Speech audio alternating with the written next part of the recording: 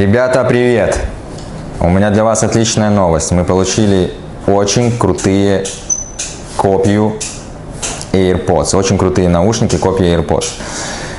И смотрите, чем же они крутые, чем же они отличаются от всего остального, что есть на рынке. Мы ездили в Гуанчжоу, мы ездили в Гонконг на выставку, мы ездили на различные фабрики, и все было не то. Мы ходили по рынкам, искали поставщиков, и ничего до сегодняшнего дня толкового не было. И вот это то, что претендует на звание действительно э, неплохой, качественной копии. А, смотрите, вот упаковка.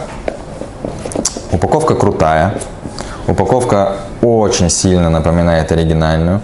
Здесь есть все маркировочки, здесь есть вот логотипчик такой, он перфорированный, такой 3D-шечный.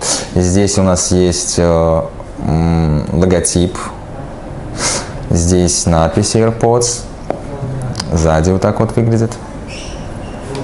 В общем, коробка очень крутая. Теперь все, что у нас внутри. Внутри у нас вот такой вот бокс вот у меня есть оригинальный.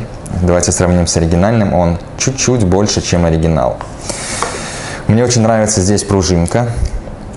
Вот как она работает, как она закрывается. На предыдущих копиях, которые я смотрел, эта пружинка, она очень плохо функционировала. То есть нужно было самому закрывать, защелкивать. Здесь очень напоминает ощущение оригинальных наушников.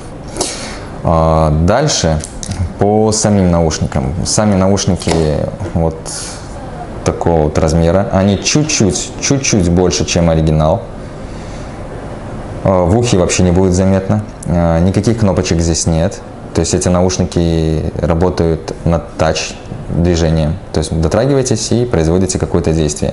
Они включаются так и выключаются. И песни можно перематывать, и включать, и выключать музыку тоже э, одним касанием. Сейчас я вам это попытаюсь продемонстрировать. Вот сейчас мы их включим. Так они включаются. Они должны синхронизироваться автоматически. Вот они автоматически синхронизируются между собой, в отличие от других наушников. Обратите внимание, что во время проигрывания музыки ничего не горит. Нету вот этих красных лампочек ужасных, которые светятся в ушах. То есть они выглядят довольно-таки симпатично. Иногда мигает вот тут вот синие вот эти лампочки, но пока, пока только так. Но в принципе они не напрягают. Они автоматически уже законнектились к моему телефону, потому что я их уже до этого подключал. К сожалению, вы не можете послушать звук, но звук очень крутой. Он, э, есть и частоты, есть и басы, ничего не хрипит. Играют они довольно-таки громко. То есть, э, если слушать музыку, то не слышно вокруг, на полной громкости не будет слышно то, что происходит вокруг. То есть они, э, внешний шум, они полностью перебивают. То есть звук достаточно громкий. Звук очень классный, очень мне понравился. Понятное дело, что это не оригинал, но и стоят они в несколько раз дешевле. Не в несколько, а, а в пять, в пять. Вот, поэтому, поэтому и звук соответствующий, но звук очень крутой. Дальше, что, что стоит сказать? Что стоит сказать? Смотрите, вот у нас трек включен, и одним движением мы можем включать музыку и, и выключать, нажимать на паузу. Вот так вот. Оп, а если сейчас нажму два раза, то трек переключится на другой.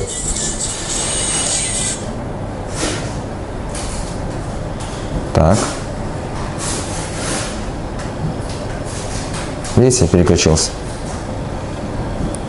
Еще на другой. Еще. Один раз нажимаю и пошло играть. Все, музыка пошла. Вот. А что стоит еще сказать про эти наушники? Я вам не сказал то, что они могут заряжаться от самого кейса. То есть не обязательно, не обязательно заряжать от шнура. То есть здесь кейс служит аккумулятором, как в оригинале. Во-первых, сейчас давайте их выключим. Выключаются они таким же образом, как и включаются. Вот, так, вот так вот. И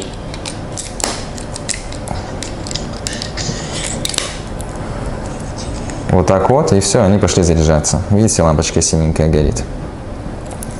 Ну вот здесь тоже можно видеть, что они заряжаются. Почему-то красным не горит. Ну вот там видно, да, красный, синий моргает. Если вставить шнур, то здесь будет полностью гореть все красным цветом. И вот эта лампочка тоже будет гореть красным цветом. Очень крутая копия, очень достойная. Она у нас появится в продаже примерно через э, 3 недели. И будет стоить до 3000 российских рублей. Соответственно, э, в рознице вы можете продавать их за 5, за 6, там, кто за сколько.